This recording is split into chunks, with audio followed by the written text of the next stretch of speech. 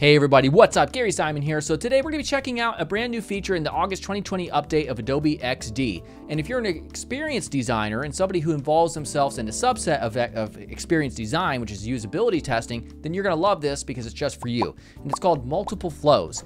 Basically, it allows you to set up different artboards in an efficient manner that allows you to send off different links of the same Adobe XD document, which allows you to create different iterations of a design in order to see which iteration of that design is more acceptable um, or more preferable to your test subjects as a part of your UX design. Now, that's a lot of verbiage, so it's just best for me to show you in the application. So before we get started, make sure to subscribe and let's get started. All right, so let's say for instance you have a design here. This is like a desktop design. Um, and this is actually a project I created for a video that Brad Traversy uploaded uh, from a tutorial created on his channel a few weeks ago. And let's say, for instance, you know, we have only two artboards here. We have like uh, the main landing page and a sub page here. And we want to real quickly make this button go to here when somebody clicks on it. So if we click play to play the prototype, all right, not that exciting.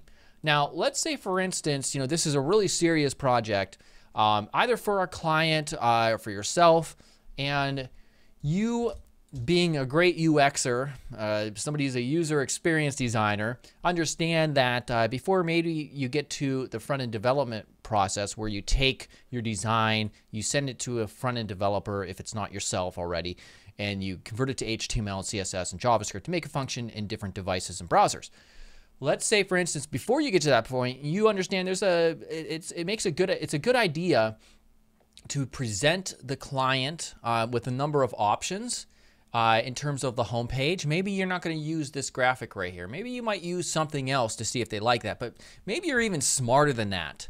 And you take it out of the client's hands. You take it out of your hands as a designer because we all know or most of us at least, we all know that we're not perfect and we don't make all the perfect decisions. And let's say that you decide to have uh, a number of individuals test it for you. All right. They're going to use your prototype. So before this latest update, if you wanted to have multiple variations of your design or your flow, so to speak, uh, you would have to basically replicate all the artboards and you would have to send different links uh, to shareable links to those individuals who are performing the test for you. Um, right now, with this new feature, we don't have to do that. So let's say, for instance, as a part of usability testing, you want to test this graphic right here, this photograph of this road. Now notice we have the accompanying text where it says the road less traveled. Um, what if we use a different picture? Will that at all resonate more so when compared against each other with the people who are performing the test for you when they're, they're using your design for the first time. Um, of course, it doesn't have to be this photograph. It could be the text right here. It could be the ad copy. It could be the color of this button. It could be many different things. Uh, and this is one such test that you would perform. Did, would you know using this road graphic versus something else make more sense? And so this is where this new feature really shines through. So what we're going to do is we will alt and replicate this artboard. By the way, I'll provide an XD link and you can follow along if you wish. You don't have to though. Um, and we're going to go ahead and make a change right here. Um, so right now, as you can see, when we replicate the artboard, of course, it's going to remember all the connections that are created. So there's, there's one that's automatically created here as well. Now we're going to go back to the design and now we're going to make our change to this artboard. This could be you know, changing this button color, could be anything. So I'm going to go ahead and change this element right here. And then I'm just going to drag in, oh, before I do that, we're going to create a, uh, a container that we can put the graphic into right there. Get rid of that annoying border that's added every time. There we go. And we'll just drag it in there. All right, so right now it's sitting on top of everything. We'll go ahead and drag it down. Me personally, there's not enough contrast here with this button and the way this uh, photograph is oriented. So all I'll do is double click, and now we have a bunch of white space here. So that's a pretty cool photo, right? I think both of these are really cool. Uh, the way this one works in with the designs kind of flows nice, but then we have more of like a, a much more photograph realist feel to this one. Maybe we can bring this up a bit. There we go. But and so as designers, we have to put our assumptions aside and we have to let real people use the design, right? Um, and that's what usability testing you know, is all about. So um, what we would do now at this point is come here in order to use this. We're going to go ahead and just click on this artboard.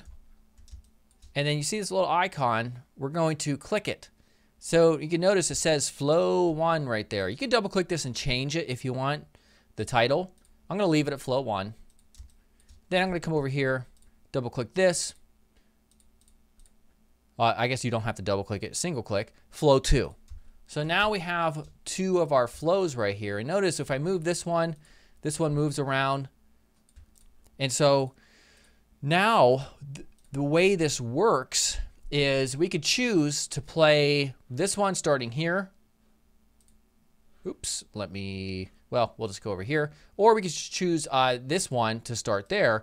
But what's really cool is if we go to share, we can now see, we can, we can select flow one and we can create a link specifically for flow one.